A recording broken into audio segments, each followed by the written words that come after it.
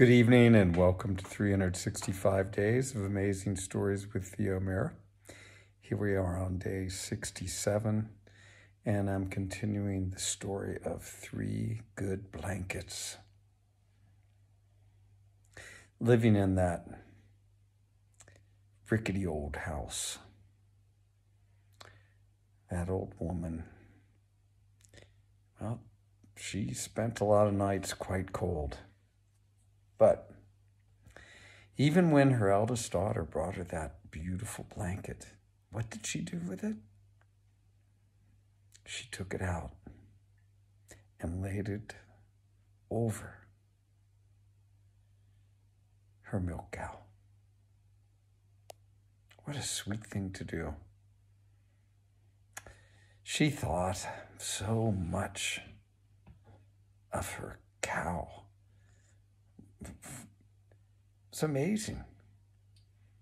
That cow provided her with milk, cream in which she could make butter or cheese.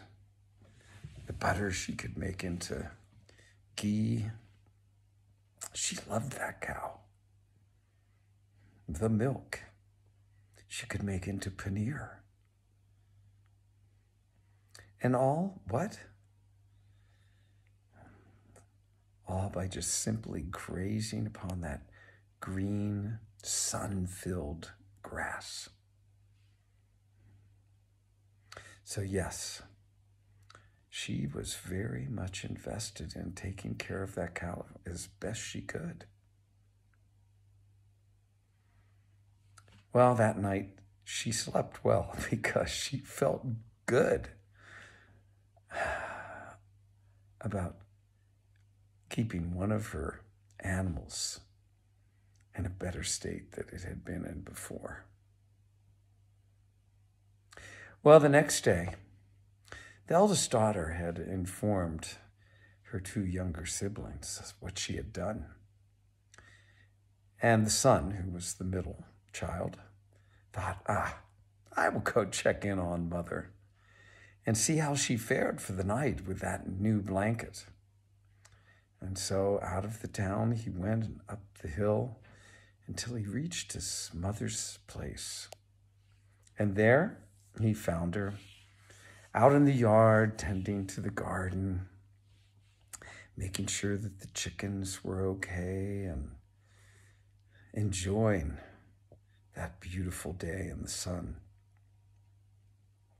Hey, Mom, the son asked, How are you? Oh, I'm good, good, good, she said. Oh, that's great, he said. Did you sleep well? Did you sleep well with that beautiful new blanket that Rebecca brought? Ah, she said. I slept well, but not beneath the blanket. You see, she said, I gave the blanket to Bessie the cow. I thought she needed it more than I. Hmm, I think she slept well too. The son was surprised, but he did his best to, well, keep that hidden. He said, Oh, mother, that is the sweetest thing you could have done. While the whole time he was thinking inside, Oh my gosh, Maybe she's gotten too old and isn't thinking quite right. Ah, I best go get her a blanket. Maybe this time she'll sleep under it. So down the hill he went after a little more conversation, and he went into a shop and bought the thickest, warmest, not the most beautiful, but the thickest, warmest blanket he could find. Up the hill he went, tucked under his arm. he got to his mother's, and with a little more chit chat, he brought the blanket out and showed it to her, draping it from his two extended arms. By his hands, he held it either corner. He couldn't quite spread it out completely because it was rather large. Ah, oh, son, she said, this is so sweet of you. Thank you, thank you so much. This will serve me well. Well, with those words, he thought he had done what he needed to do. She had said, This will serve me well. After a little bit more chit chat and a cup of tea, down the hill he went, down to his family and his home. Well, that night, after the old woman had had her dinner and had stoked the fire, she took that beautiful blanket that was, well, quite thick, not so very beautiful, took it out to her horse. The horse that pulled her buggy whenever she needed to go down the hill for supplies.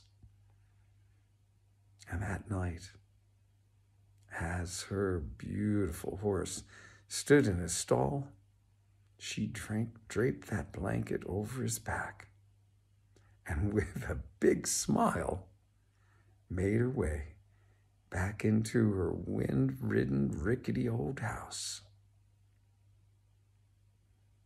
And we'll leave the story there for tonight and see what might happen tomorrow. Okay, thanks for joining. Hope you enjoyed.